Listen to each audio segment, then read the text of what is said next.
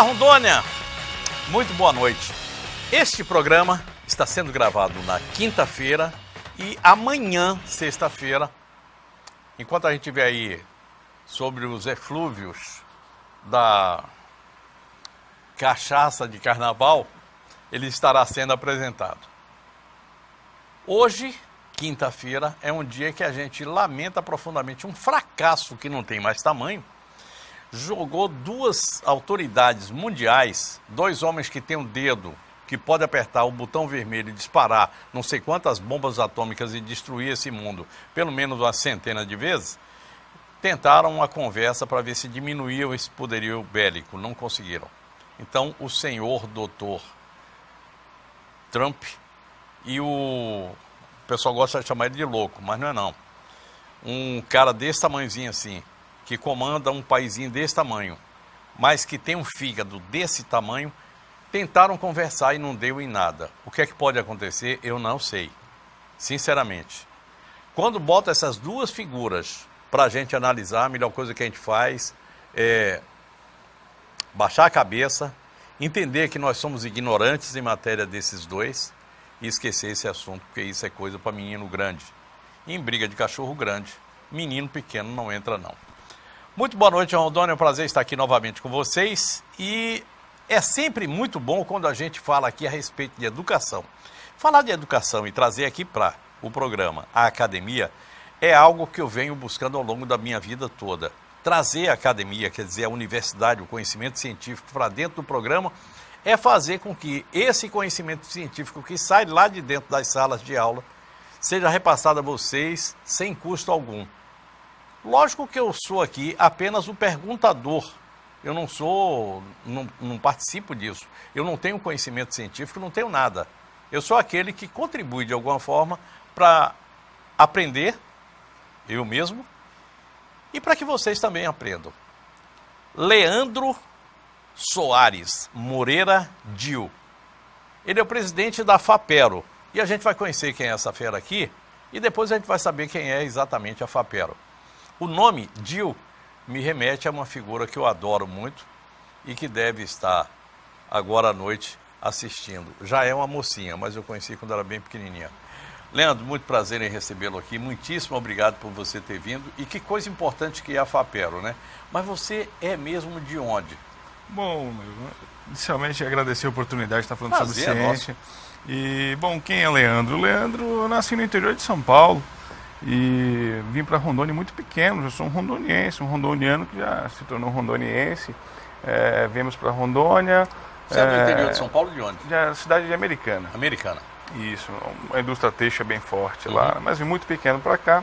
E aqui construí minha vida. Eu sou da primeira turma de Química da Universidade Federal de Rondônia, né, onde a gente pôde se graduar, terminar a nossa graduação. Trabalhei com plantas medicinais, orientado pelo saudoso Dr. Valdir Facundo, meu orientador. É, mais à frente eu fiz o mestrado também com ele e tive uma orientação do professor Júlio também Militão. Também medicinais? Foi, foi um mestrado na área de é, biotecnologia voltado à, à, aplicação de plantas medicinais na saúde, uhum. na saúde humana. Né? Importante. Hein? Isso. E aí nós enganjamos também no doutorado, também pela Universidade Federal de Rondônia, sou totalmente de casa, é, já com orientação do professor Rodrigo Stabile, saudoso, Luiz Delbrando, né, que sempre estava ali nas parcerias que, aliás, do trabalho. Luiz Delbrando é daquelas figuras que eu, eu tenho uma é uma grande frustração na minha vida. Eu tive a oportunidade de conversar com ele aqui no aeroporto, ele me falou do amor que ele tinha pelas plantas, pelas orquídeas daqui da Amazônia. Sim. Marcamos uma entrevista e ele resolveu ir um pouco mais cedo, para tristeza minha, de ordem pessoal, mas de todos nós, de uma forma geral. Doutor Idelbrando é daquelas figuras que deixaram um legado muito grande aqui. Agora, você é extremamente jovem, é doutor, Quer dizer, a sua vida foi dedicada somente para a academia. Isso é uma paixão e desde sempre gosto muito de estudar, realmente. E durante muitos anos me dediquei à pesquisa. Aliás, é de família isso, né? É. é. Sua família é toda assim. Temos lá alguns exemplos. Tem uma tia que é física para a Unicamp, né? E a paixão pela, pela, pela pesquisa surgiu ainda na graduação. Né? E olhando a nossa biodiversidade, olhando a nossa floresta, a quantidade de riqueza que tem isso tudo aqui era algo que sempre me fascinava. Então resolvi dedicar minha vida à pesquisa. Só que chega num ponto na vida que a gente não pode ficar só atrelado a, a, a, a adquirir conhecimento. Chega uma hora que você precisa também contribuir. Se você não, não passar isso para frente, não faz sentido. Né? Exatamente. Né? Então, gosto muito de dar aula, sou professor também universitário. E hoje estou à frente da FAPERO, falando sobre políticas públicas voltadas à área de ciência e tecnologia, um assunto de grande importância para o desenvolvimento do próprio Estado. Né? E eu me sinto muito honrado e gratificado em poder estar contribuindo com o desenvolvimento da nossa região. Eu tenho uma prima chamada Bia, Bia Ladeia, está lá na Bahia, e ela é pesquisadora. E ela é exatamente dessa sua área. E um dia ela me perguntou, eu estava lá na Bahia fazendo uma visita e me encontrei com ela, ela disse assim, vem cá, me, me conta uma coisa, por que, que vocês até hoje lá em Rondônia não montaram nada em termos de indústria com tudo aquilo que vocês têm? Eu, sinceramente, na hora me deu vontade assim, de voltar para cá, perguntar para todo mundo, mas agora eu vou te perguntar, quando é que nós vamos ter essa indústria farmacêutica de biotecnologia aqui em Rondônia, em que a gente possa pegar aquilo que a natureza nos dá, que está ali na nossa mão, e transformar aquilo em fármaco? tem um, uma chave importante para a gente atingir essa meta, que são as pessoas. Né? Nós temos muitos poucos doutores atuantes, principalmente nessa área de biotecnologia, aqui na região. Então é necessário construir essa massa crítica, né? é necessário provocar isso na sociedade para que a gente possa, de fato, ter pessoas que possam trabalhar em, um ideal desse tipo, que é construir uma indústria né, voltada a, a a bioprospecção de fármacos. Né? Mas isso não é um problema só de Rondônia, isso é um problema da região norte como um todo. Nós temos aí grande potencial também nos estados vizinhos, o Acre, o Amazonas, o Pará, né, que já tem até iniciativas mais avançadas. No Pará já existem alguns projetos em é andamento é do tipo.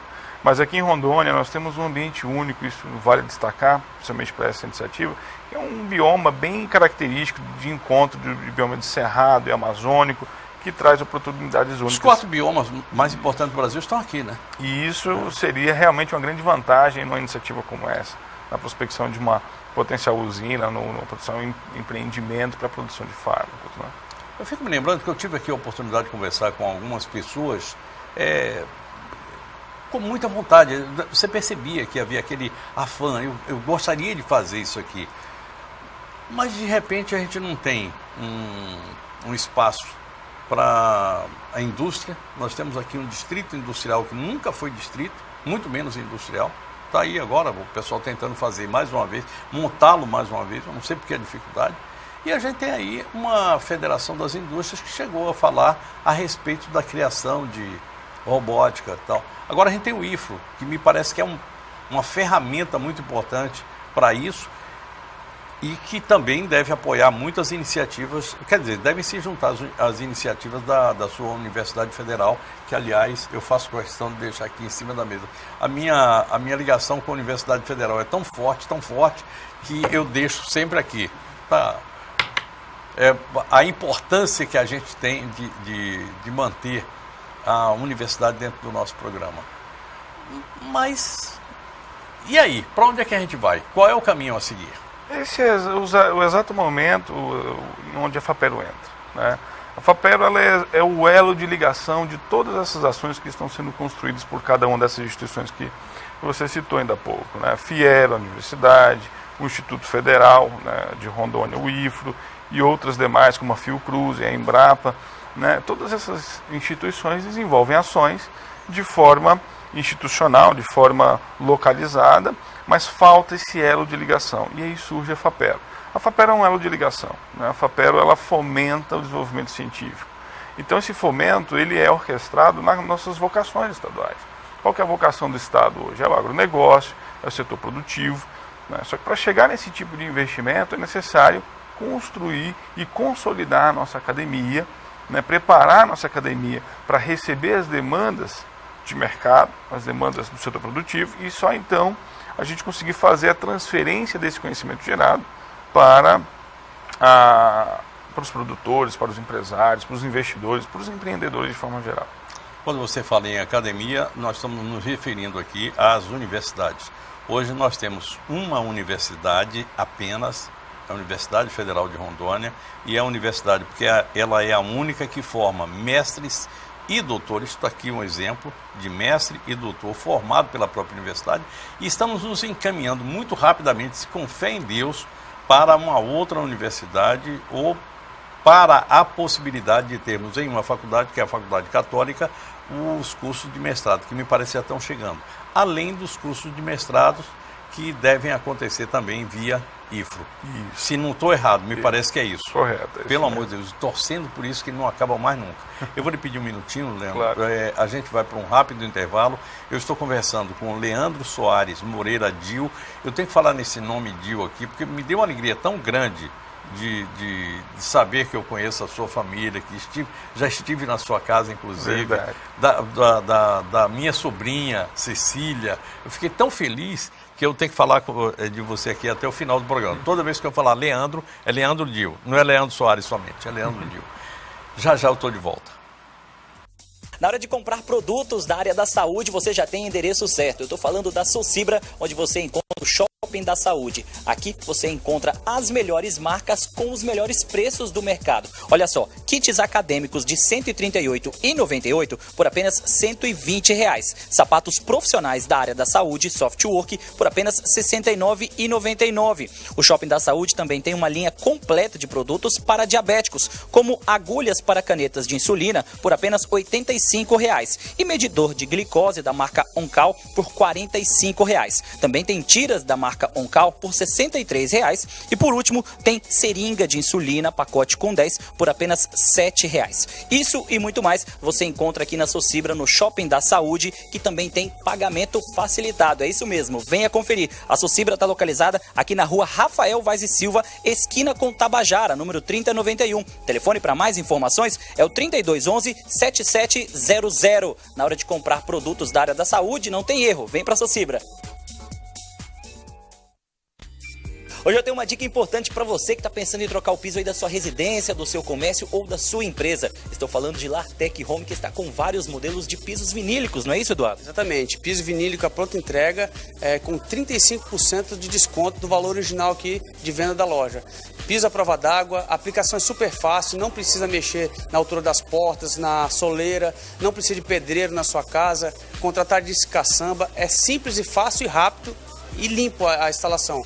Então assim, temos em torno de sete cores a pronta entrega, é, temos também papel de parede também, estamos também na promoção papel de parede, compramos bastante, estamos repassando esse desconto para o nosso cliente. Lembrando que o papel de parede são 70% de desconto, né Eduardo? 70%, papel de parede com até 70% de desconto. Então assim, tem estampas, texturas, tem bastante coisa aqui que você pode aproveitar chegando antes vai, ter, vai conseguir escolher, vai ter mais opções, né?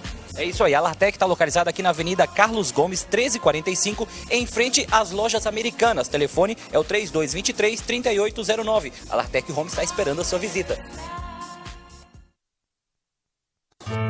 Você faria um plano funerário? Se eu faria? Sim, eu quero proteção. Sim, inclusive eu tenho. Ângelos prevê. Eu tenho Ângelos. Já tenho há muito tempo e ele só tem me trazido coisas boas. Faria.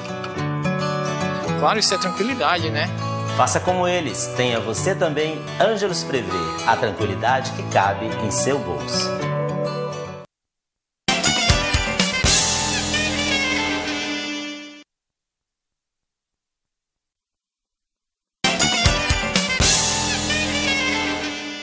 Leandro Soares Moreira Dil, pesquisador, mestre doutor em biotecnologia. É, é isso mesmo, né? Uhum. Em biotecnologia. O nome é comprido, mais comprido que dia de fome. E presidente da FAPELO. A FAPELO foi criada em, salvo engano, em 2011. E de lá para cá, como é que vem ela? É, já deu frutos é, em termos de pesquisa ou, por enquanto, ela está naquele, naquela dormência da semente?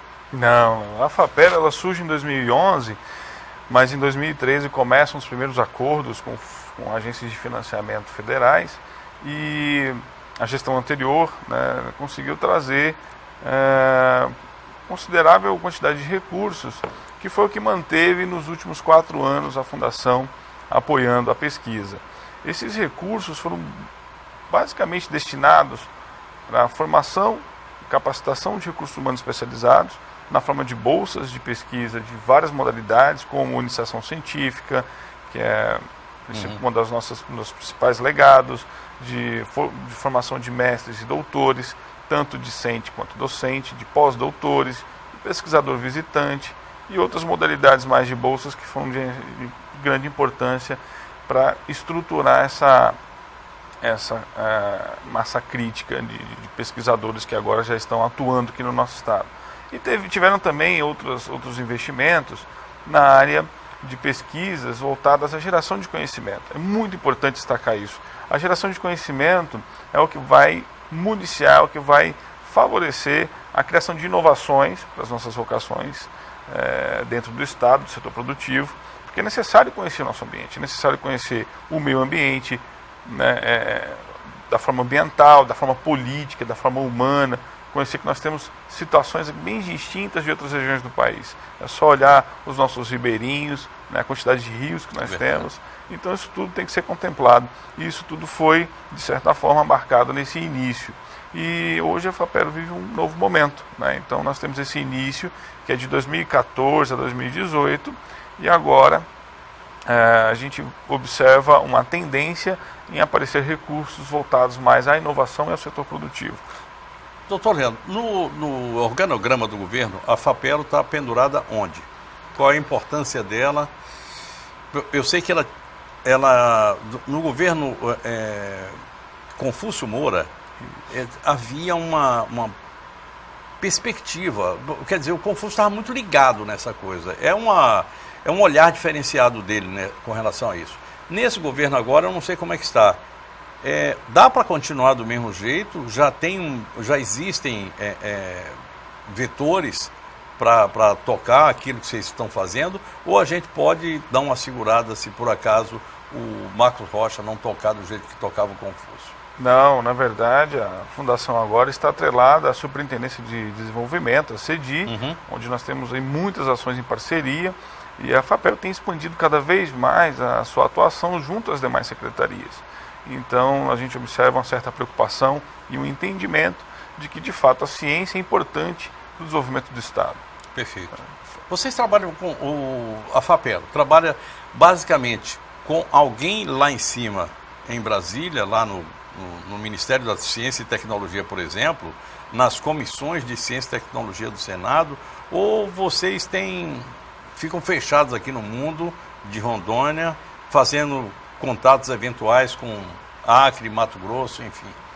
Então, na verdade, a FAPEL atua a nível estadual, ela é uma instituição ligada à administração indireta do uhum. governo, mas existem algumas agências de fomento federal uh, que investem recursos em instituições como essa, como as tipo? fundações de apoio, tipo uhum. a FAPEL, que aí a gente pode citar a CAPES e o CNPq, né, que são agências de fomento, né? então uhum. eles eles, é, uma forma de aplicar o fomento em cada estado é descentralizar e atuando via as fundações de amparo. Não sei quem é hoje o ministro da Ciência e Tecnologia, mas vocês vão. É um deputado, né? Não, é um senador. O... Era um deputado. Passou para o ministério. Não, o, o, nosso atual ministro é o Marcos Pontes, é o astronauta. Ah, perdão, perdão, perdão. Eu estou falando da. Me perdoe, eu terminei juntando, falei uma coisa aqui assim e troquei a bola. As bolas. Eu estava falando a respeito da ciência e tecnologia como comissão do, do Senado, onde estava o Confúcio Moura e onde veio lá o, um senador de Goiás, salvo engano, que é o homem que está tocando essa parte. Mas o Marcos Ponte já ajuda bastante para a gente clarear essa, essa conversa. Exato. Eu estive recentemente em Brasília e tive a oportunidade até de conhecê-lo e as diretrizes atuais da, do Ministério de Ciência e Tecnologia é que eles estão planejando, estão reformulando, na verdade, eh, a, a, maneira pela qual vão acontecer os fomentos voltados à ciência e tecnologia. Estamos falando assim de financiamento mesmo, né? de recursos. É, é, o Ministério da Ciência e Tecnologia, além das ações, também prevê recursos né, serem aplicados uhum. para essa finalidade. E a gente observa uma certa tendência nos últimos anos né, nos últimos dois anos principalmente, na mudança da forma de aplicação desse recurso.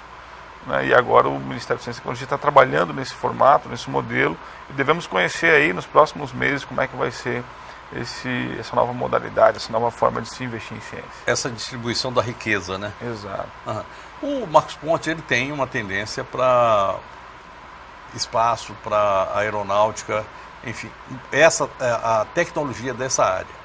Nós temos a necessidade premente no Brasil da biotecnologia. O nosso caso é fabricar remédio para uma população que precisa de saúde, é fabricar soluções para tratar esgoto, enfim, essas coisas. Existe alguém que esteja olhando isso no Brasil e que vocês possam ir buscar esse tipo de, é, é, de conhecimento? Existe sim, existem iniciativas, inclusive do próprio Ministério da Ciência e Tecnologia, em parceria com, a, com o Ministério da Saúde e com o CNPq, uhum. é, por meio de um programa chamado PPSUS, na qual aqui na nossa fundação já está na sua terceira edição.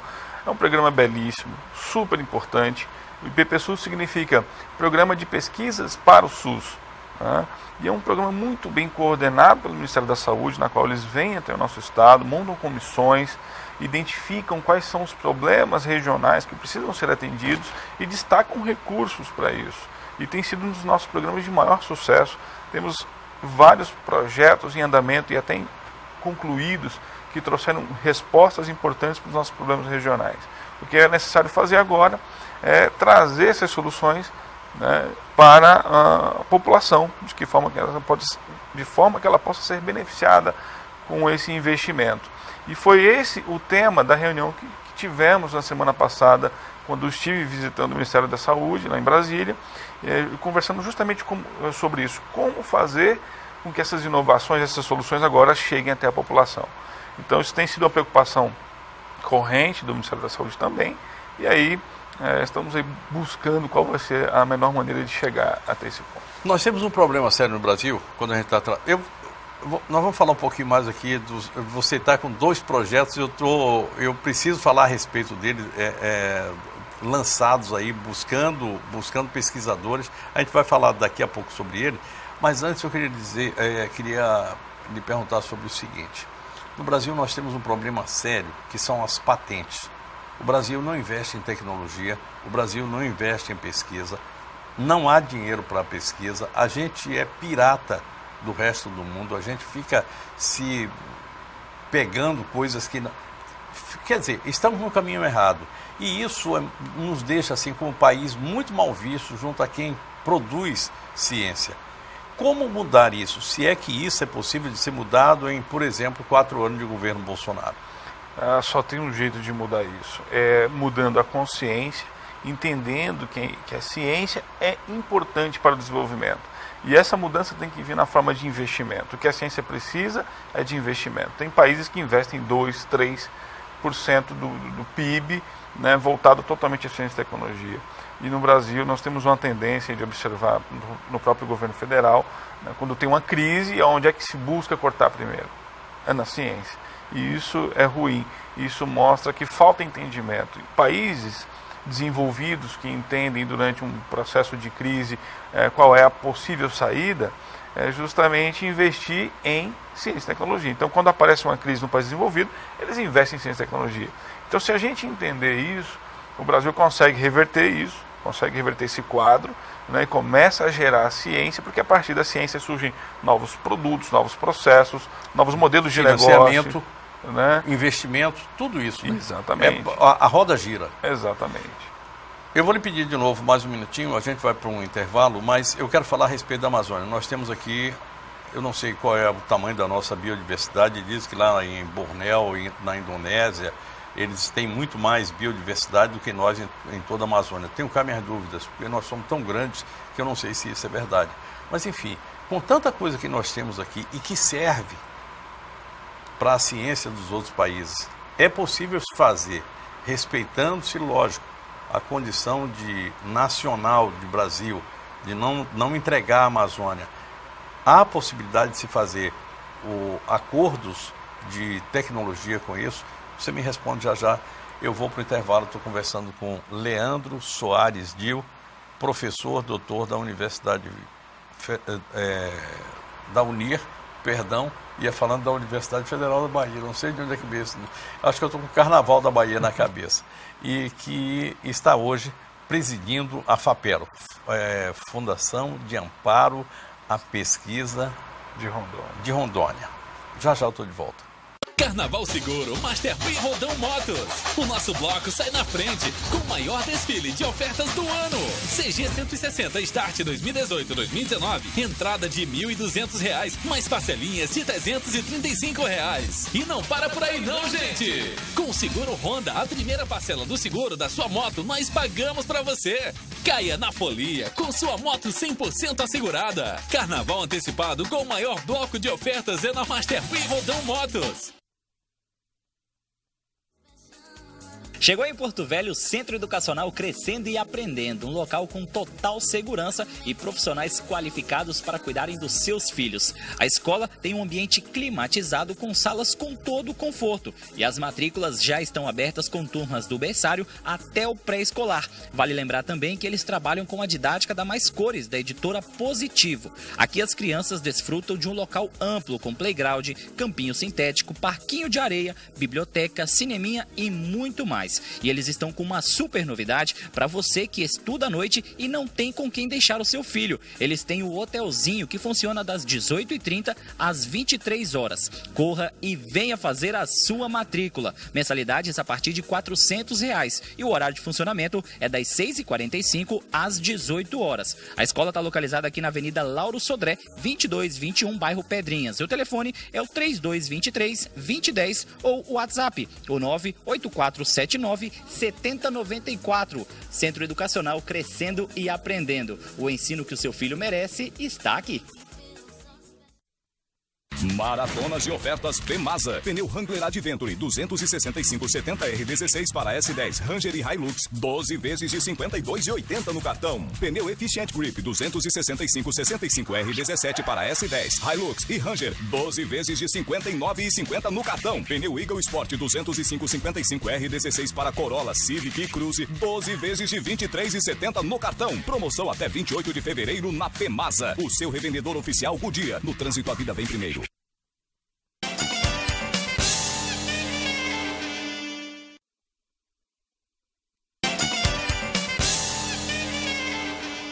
Terceiro bloco do nosso programa de hoje, sexta-feira, né? Pois é, amanhã tem Banda do Vai Quem Quer. Não posso esquecer. Se eu não falar de Banda do Vai Quem Quer, como é que vai ser? Amanhã é a grande festa do carnaval no Brasil todo e em Porto Velho, o maior bloco de sujo que eu conheço. Tem outros. Mas aqui em Porto Velho é realmente o, o melhor bloco de sujo, o maior bloco de sujo é a Banda do Vai Quem Quer. E é lógico, amanhã eu estou por lá. Não, não vou deixar, não perco isso por nada desde 1991. Eu só perdi um ano de banda do Quem Quer. Em 2014, em função daquela cheia do Madeira, a banda não saiu, que foi uma pena. Dava para sair, mas enfim, o tempo já passou, vamos esquecer esse assunto. Vamos voltar aqui para a nossa biodiversidade, que foi a pergunta que eu deixei. Em razão, vou contextualizar, em razão de tudo aquilo que a gente tem e que o mundo está de olho, dá para se fazer respeitando essa soberania nacional, que é algo que eu não eu, eu sou patriotaço também, tá? Então, é, respeitando-se isso, dá para fazer alguma, algum estudo, algum trabalho, trocar tecnologia, fazer, enfim, é, parcerias? Com certeza, a ciência está para trazer soluções. Uhum. Né? Então, as soluções podem ser de diversas formas. Ela pode trazer soluções tanto para o sistema produtivo, né, com melhorias de produtividade, como aqui está ocorrendo atualmente no nosso estado com relação ao café e outros, e outros setores uhum. produtivos, uhum. e também no aproveitamento da nossa própria biodiversidade. Né? Então, nós temos já exemplos de produtos da biodiversidade com grande impacto no valor comercial, no, no mercado. Né? É um exemplo, não sei se o senhor conhece, mas o Captopril, já ouviu falar do Captopril? O Captopril é o medicamento mais comercializado no mundo né, para hipertensão rendeu aí de 3 a 5 bilhões de dólares só de royalties para multinacionais, mas foi um medicamento produzido a partir da nossa biodiversidade brasileira. É uma serpente que é endêmica aqui da nossa região, Jararaca. que deu isso a bota para jararaca, que deu origem a essa substância que, que pode, deu né? origem né? a um medicamento. É então, olhando aí a Amazônia como a maior floresta intacta do planeta hoje em dia, então para mim é difícil dizer se a de Borneo vai ser maior ou menor. Não, o pessoal do é, o pessoal que faz essas séries aí na, na TV fala, ah, é a maior biodiversidade. Eu tenho minhas dúvidas. Eu também. Nós temos aí mais de um milhão e meio de quilômetros quadrados de floresta só no estado do Amazonas, imagina o restante. Né? Eu só de insetos, a gente não.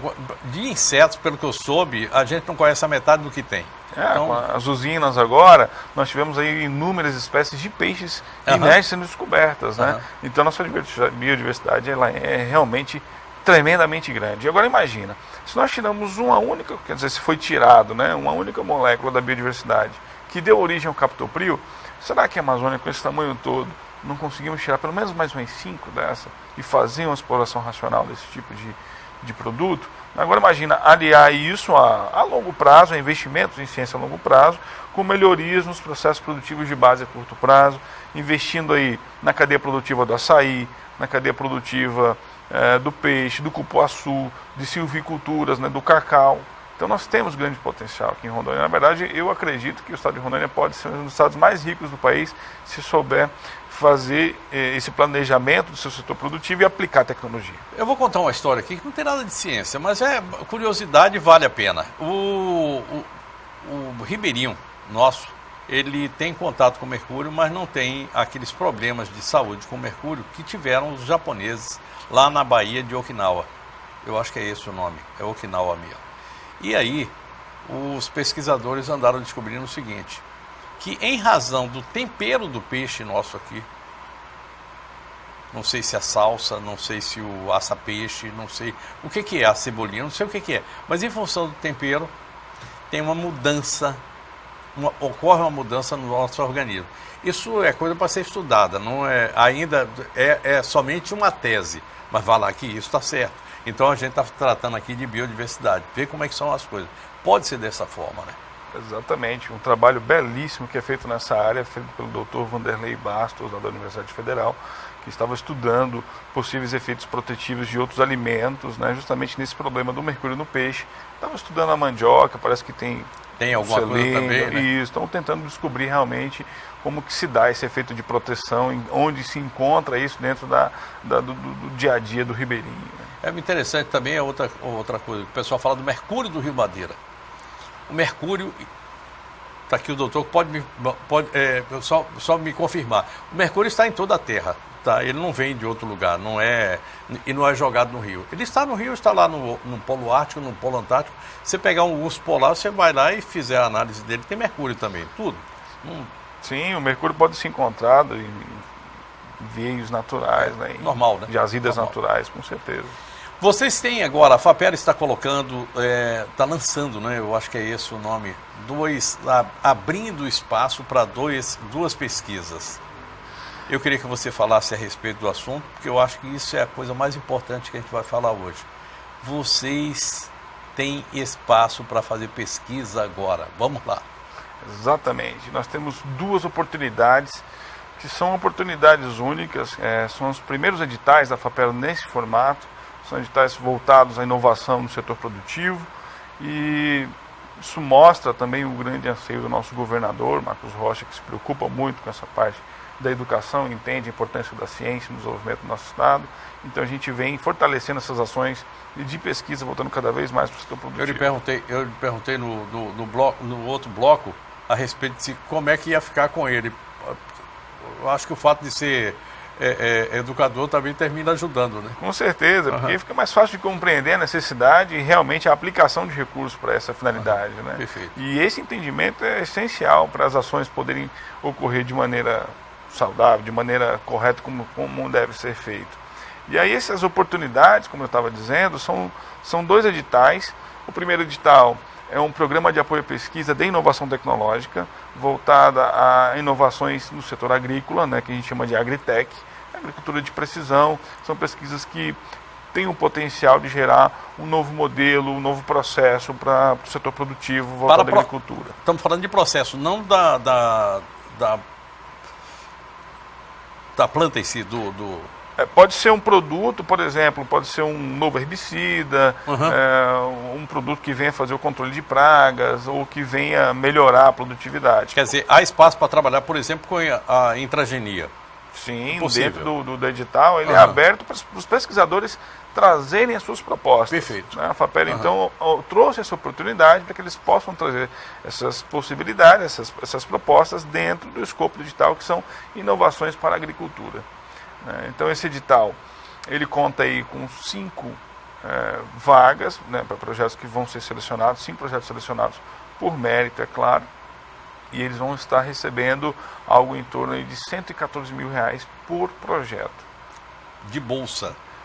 Na verdade, não é um, é um dizer, não é, pacote. é, não é grande, não é grande coisa quando a gente pensa em termos Claro. de pesquisa, mas já é uma mão na roda, né? É, é um 114 mil reais você não recebe todo dia aqui para fazer uma pesquisa, né? É, dentro dos nossos editais tem sido um dos maiores, na verdade. Né? A gente espera conseguir é, valores cada vez 114 mais mil para cada projeto. para cada projeto. Boa, boa grana, boa grana. Não Isso é vem ruim, na não. forma de um pacote tá? Aham. que envolve desde bolsas para profissionais ajudarem no processo de desenvolvimento da inovação, a recursos de capital né, para comprar algum equipamento pequenininho, tudo bem que o recurso é pequeno, mas dá para comprar de algum equipamento que precisa, alguma placa, um circuito eletrônico para desenvolver um protótipo, por exemplo. Uhum.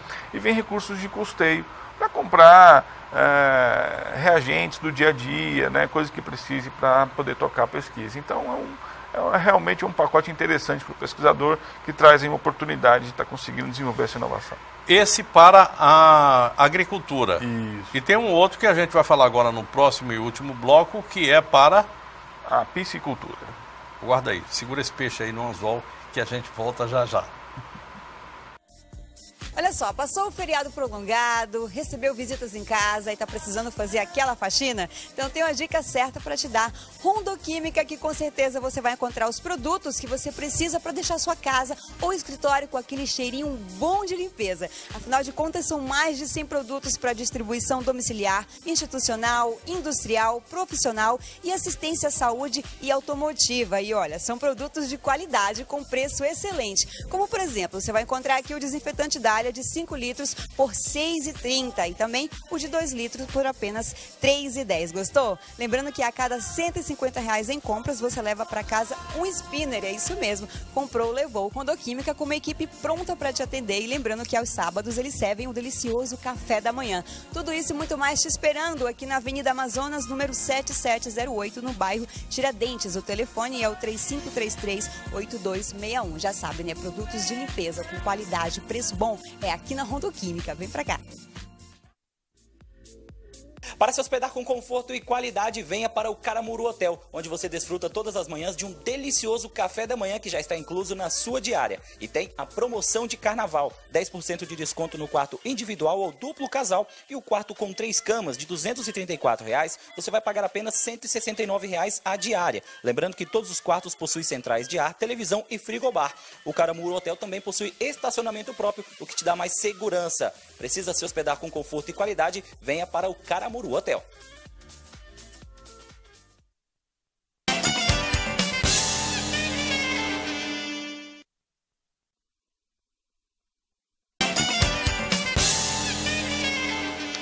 E aí, quarto e último bloco, vamos falar de peixe? Vamos. Como é que vai ser esse projeto da piscicultura?